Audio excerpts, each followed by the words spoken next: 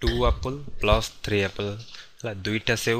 plus तीन टा save मिसला पर देख आम लिखुच देख दुईटा आपल एटा गोटे एटा गोटे एटा तीन टा आपल ओके बर्तमान तो कौन करवा आम जिन जो करवा एड तो कर दि जो कर दि गोटे दुईटा तीनोटी चारोटी पांचटी समुदाय के आसला ना पांचटा आपल पांचटा आपल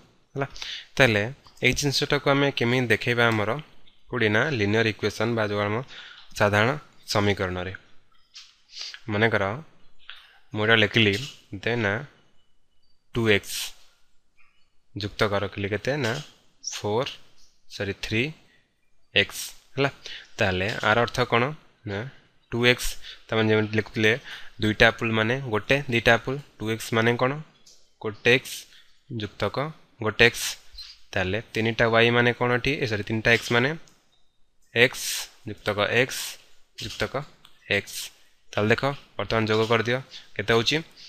গোটে দুইটা তিনোটি চারোটি পাঁচটি তাহলে আসলে কেতে না ফাইভ এক্স ওকে যদি মু কোণ করবি না এই সংখ্যার যে আড কলি দুইটা আপুল সহ তিনটা আপুল মু যদি এটি যোগ করেদেবি তোমার কেতে না কেতেটা মনে কর সাত थेटा कमला मुझे जो करदेली ताले आर मूल्य केते हम देख बर्तमान जो कली सातटा अरेन्ज प्लस दुईटा अरेन्ज है तमाने बर्तमान मुझे लिखी जमी आम जो जोग करते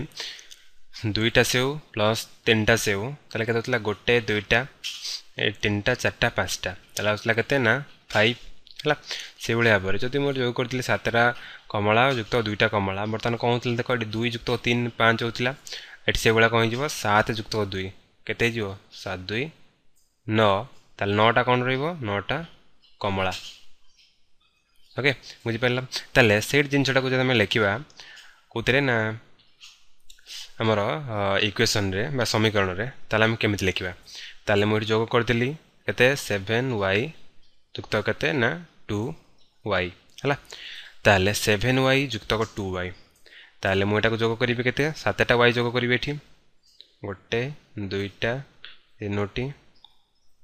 ତୋଟି ଯୁକ୍ତକ ପୁଣି ଆଉ ରହିଲା କେତେ ଦୁଇଟା ୱାଇ ତାହେଲେ ବର୍ତ୍ତମାନ ଦେଖ ଏଇଟା ଗଣିଦିଅ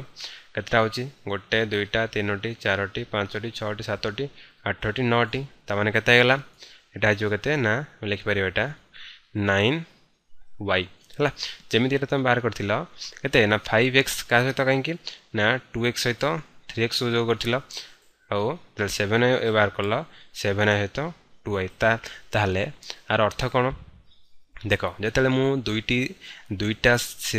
ସେଓକୁ ଦୁଇଟା ସେଓ ତିନିଟା ସେଓ ଯୋଗ କଲି ତାପରେ କ'ଣ କଲି ସାତଟି କମଳା ଦୁଇଟି କମଳା ଯୋଗ କଲି ତା ମାନେ କ'ଣ ଦେଖ ମୁଁ କେବଳ କମଳାକୁ କମଳା ସହିତ ଯୋଗ କଲି ଏବଂ ସେଓକୁ ସେଓ ସହିତ ଯୋଗ କଲି କିନ୍ତୁ ମୁଁ ସେଓକୁ କମଳା ସହିତ ଯୋଗ କରି ନଥିଲି ତାହେଲେ ସେଇଭଳି ଭାବରେ ତାହେଲେ ଯେତେବେଳେ ତୁମର ଏକା